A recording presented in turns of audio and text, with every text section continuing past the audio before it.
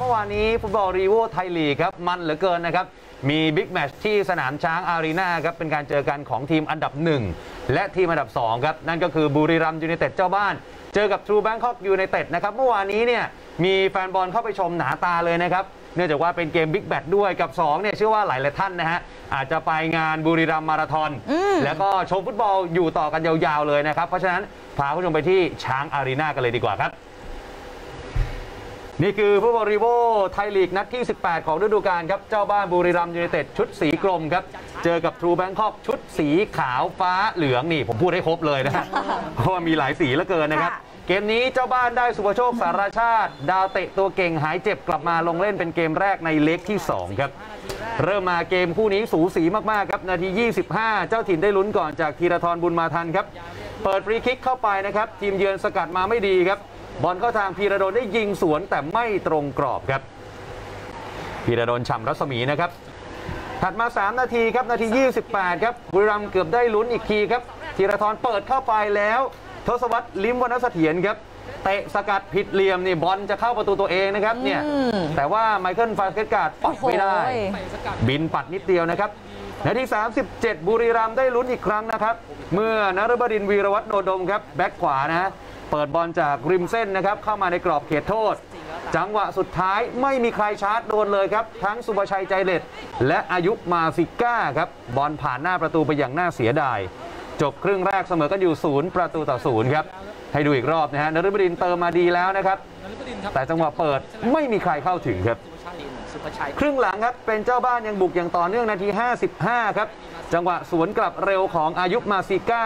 นี่ความเร็วแกปั่นป่วนเลยนะครับ ลากไปยิงด้วยซ้ายครับ แต่บอลหลุดกรอบออกไป นาที 64 ครับ เป็นทีมเยือนอย่างทรูแบงคอกนะครับ ได้ลุ้นบ้างครับ จากจังหวะที่ทริสตองโดครับ เปิดบอลจากแถว 2 ให้ธิติพันธ์พ่วงจันทร์ครับ มีโอกาสได้โมง แต่ว่าบอลมันเหินข้ามคานออกไปนาที 73 ครับ เป็นเจ้าบ้านบุรีรัมย์ได้ลุ้นอีกครั้งนะครับ จากจังหวะของนฤบดินทร์ที่เลี้ยงบอลลุยเข้าไปในกรอบเขตโทษ จังหวะนี้ทำได้อย่างยอดเยี่ยมนะฮะ หมดต้น แล้วจังหวะ ผ่านลูกนี้มันไม่มีใครเข้าถึงอีกแล้วครับ โอ้โหนฤบดินทร์นฤบดินทร์บอกว่าครึ่งแรกก็ลูกหนึ่งค่ะครึ่งหลังนี่อีกลูกนะครับ ไม่มีใครชาร์จโดนเลยครับบอลหลุดออกไปอย่างน่าเสียดาย เกมทำท่าว่าจะจบด้วยผลเสมอแต่แล้วนาที 89 ครับ บุรีรัมย์มาได้ประตูชัยครับ จังหวะของตัวสำรองอย่างสุพนัทเหมือนตาทำชิ่งกับสุภชัยใจเด็ดนะฮะเปิดเข้าไปสุพรรณสกัดไม่ดีเข้าสุภโชคครับ ยิงเต็มข้อล่อเต็มแข้งครับค่ะ แล้วก็โห่ร้องด้วยความดีใจครับ นี่ฮะแฟนบอลบุรีรัมย์ได้เฮลั่นช้างอารีนาเลย เพราะว่ามันเหลืออีกนาทีเดียวจะหมดเวลาแล้วถูกต้องจังหวะวิ่งเข้ามายิงนิ้วหืมไม่สนใจใครเลยนะอืมง้างเท้ารอมาแต่ไกล เนี่ยฮะกลายเป็นประตูชัย โอ้โหสุภชัยใจเด็ดนี่ แกไม่ยิงนะลีแกยัลาทำท่าดีดีจใจริงๆค่ะนี่ฮะโอ้โหสจวบยจริงๆเกมครับ โอ้โหบุรีรัมย์ครับ เฉือนเอาชนะ ทรูแบงคอกไปได้ 1 ประตูต่อศูนย์นี่อิชิอินะฮะ คุณเนวินนี่กอดกันกลมเลย ใช่ค่ะ อิชิอิตอนนี้นี่ในการคุมทัพชนะ 4 เกมรวดมาเป็นที่เรียบร้อยแล้วนะคะ ในส่วนของถ้าพูดถึงการชนะต่อ ก่อนหน้านี้เองเนี่ยเจ็ดนัดรวดครับโอ้โห ก่อนที่อิชิอิจะเข้ามาคุมทีมนะ เพราะฉะนั้นบุรีรัมย์ตอนนี้พังอาจอยู่ในโซนที่เรียกว่าท็อปโฟแถมยังเป็นจ่าฝูงที่ทำผลงานได้ดีอย่างต่อเนื่องด้วยนะคะผลงานของอิชิอิกับบุรีรัมย์เนี่ยถือว่าเป็นโค้ชคนหนึ่งนะฮะที่เริ่มต้นค่ะกับทีมบุรีรัมย์ได้ดีที่สุดในอืมประวัติศาสตร์ของสโมสรเลยนะฮะใช่เพราะว่าชนะรวดๆเลยใช่ไหมตอนนี้ใช่ค่ะแฟนๆบุรีรัมย์เขาก็หวังว่านอกจากจะเริ่มต้นได้ดีแล้ว หวังว่าจะดีในระยะยาวเพราะตอนนี้เนี่ยทางบุรีรัมย์เองก็พยายามที่จะปรับอืมไม่ว่าจะเป็นทั้งระบบการทำทีมของชุดใหญ่รวมไปถึงอะคาเดมี่ด้วยนะค่ะให้มันควบคู่กันไปหมด เป็นอ่าญี่ปุ่นสไตล์เป็นแบบญี่ปุ่นแล้วตอนนี้ถูกถูกนะแฟนบุรีรัมย์เองก็ผ่านมาหลายรูปแบบนะถูกต้องก่อนหน้านี้ค่ะเนี่ยเคยมี Spanish style มาแล้ว มาเป็น Brazilian style ค่ะ ตอนนี้ก็เป็น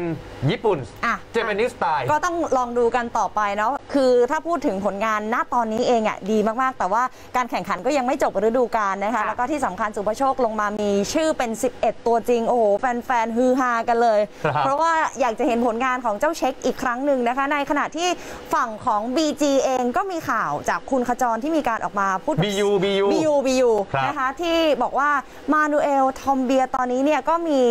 ทีมจากเจลีกอ่ากำลังให้ความสนใจอยู่ แต่ก็ยังไม่สามารถบอกได้ว่าเป็นทีมไหน อาจจะครับกำลังแบบคุยคุยๆกันอยู่อ่าเออทางคุณกระจรเนี่ยเขาบอกว่าค่ะค่ะเดี๋ยวให้จบฤดูกาลนี้ก่อนอืมอืมแล้วเดี๋ยวค่อยมาว่ากันตอนนี้ขอให้มานูเอลทอมเนี่ยช่วย BU ไปก่อนได้ไหมใช่แต่เมื่อวานมานูเอลทอมไม่มีชื่อนะอืมเออน่าจะเจ็บหรือว่าอะไรหรือเปล่าใช่ค่ะเอาเป็นว่าตอนนี้นะคะ นักเตะไทยฮอตนี่ขายดีหอมมากเนอะๆเนื่องจากว่าเจเนี่ยไป